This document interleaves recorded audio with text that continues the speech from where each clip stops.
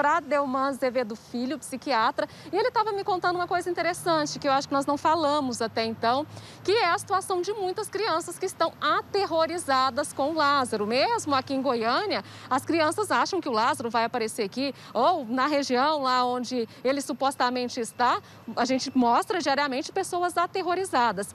Doutor, muito boa noite para o senhor. Boa tem, noite. Tem razão para esse temor todo? Como é que as pessoas têm que avaliar essa situação? Quando uh, se divulga muito essa história do Lázaro, se cria uma ideia que o Lázaro atinge um patamar além de um ser humano comum, como se ele tivesse algum poder sobrenatural, uma força sobrenatural.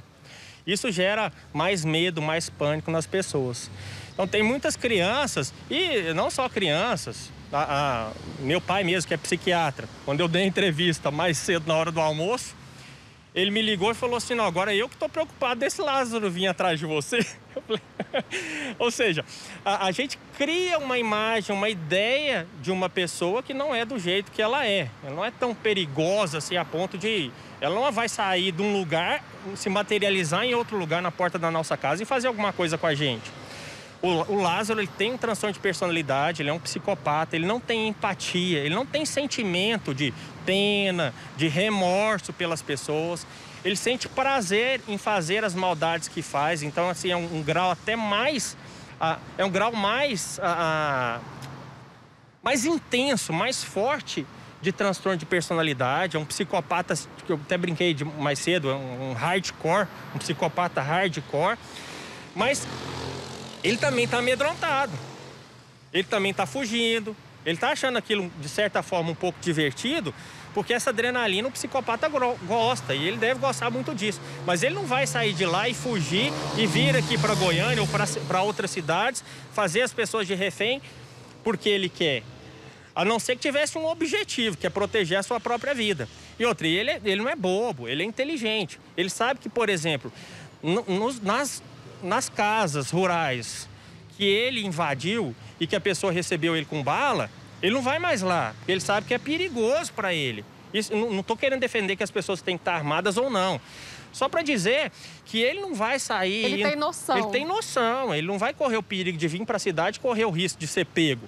Doutor, agora uma outra, um outro ponto interessante, né? Muitas pessoas acham que é possível recuperar uma pessoa desse jeito, né? E às vezes a gente vai ser até um pouco taxativo em dizer que não tem recuperação, mas essa é a verdade, né? Analisando aí pelo lado né, do senhor como psiquiatra. Então, o, o transtorno de personalidade uh, que ele tem, a gente chama de transtorno de personalidade dissocial, que é o psicopata, você já nasce desse jeito. É uma característica da personalidade.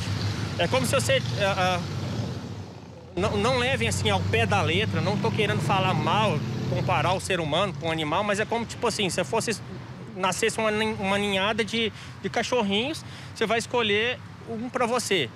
Aí a pessoa que é dona dos cachorros fala, fala assim, ó, esse aqui é bonzinho, aquele ali é da índole ruim. Você sabe que aquele da índole ruim, ele vai ser ruim, não importa o que você faça. Você pode até cuidar dele, ele consegue controlar um pouquinho a ira que ele tem, mas ele vai ser da índole ruim sempre. Assim é o Lázaro. Ah, não existe tratamento, não é uma doença como, por exemplo, uma esquizofrenia. Se o Lázaro tivesse, por exemplo, uma esquizofrenia, o comportamento, a mente dele ia ser o seguinte: como eu falei mais cedo, ele ia imaginar, vamos supor, que o mundo inteiro estava sendo tomado, todas as pessoas estavam sendo dominadas pelo demônio. O demônio baixou no corpo de todas as pessoas. E ele baixou nele o, o Espírito de Jesus Cristo, ou de Joana Dark, sei lá. E aí ele tem como obrigação eliminar todas as pessoas que ele quer salvar a humanidade. Não então, é o caso dele. Não é o caso dele. Ele sabe o que ele está fazendo, ele sabe que o que ele está fazendo é errado, mas ele não se importa. Para ele é errado, mas assim, ele gosta, ele não sente mal. Então é tranquilo para ele fazer aquilo.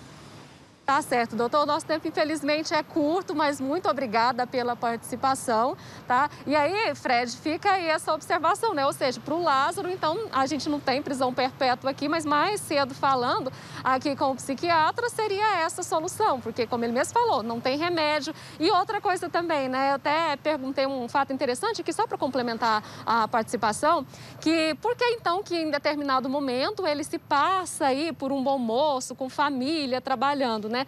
né doutor, estava me explicando aqui que isso é mais uma espécie de preparo para logo na frente agir novamente. Ou seja, realmente é uma pessoa muito difícil de, de se entender e de manter atrás das grades.